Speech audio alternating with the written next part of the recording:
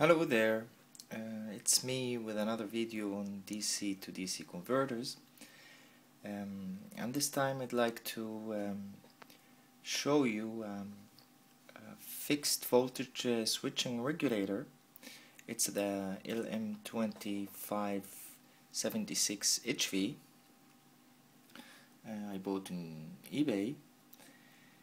Um, a 5 volt uh, switching regulator, 5 volt step down switching regulator, uh, capable of delivering um, 3 amps um, with something between 70 to 80% um, uh, efficiency. Um, it has 5 pins or 5 legs, whatever you call it, and um, it needs only uh, 4 external um, parts the, um, an inductor, um, Schottky diode and two capacitors, one for the input and one for the output. Um, in my setup here, um, I'm testing it with a 1.5 ohm load. Um, previously I measured the input current of my uh, 12 volt uh, uh, voltage supplier, a volt supply, power supply, I'm sorry, and found out that the, the input current is about 1.8 amps. Now let's see what about the output current. So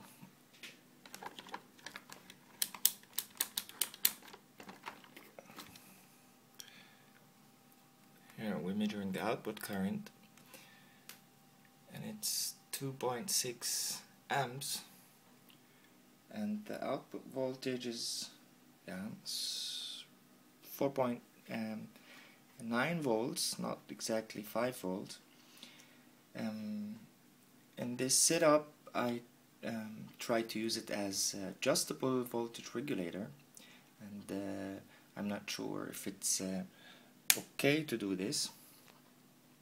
I didn't see something about that on the datasheet, so um, I can't uh, do that with uh, with this kind of load. Um, so I have to change to a, a bigger load, higher load, whatever you call it. So I'm using a um, 10 ohm or even better to use a 100 ohm um, 5 watt resistor. So let's see. Now I'm the you see with the higher loads um, the voltage is uh, stable at 5 volts so I'm increasing the output voltage and it can um, vary it between 5 volts and 12 volts the input voltage. Roughly 12 volts 11.4 and uh, yeah we are back at 5 volt.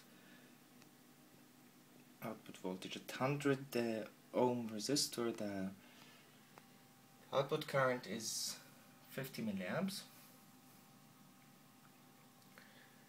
So I hope you like it and see you soon with another video.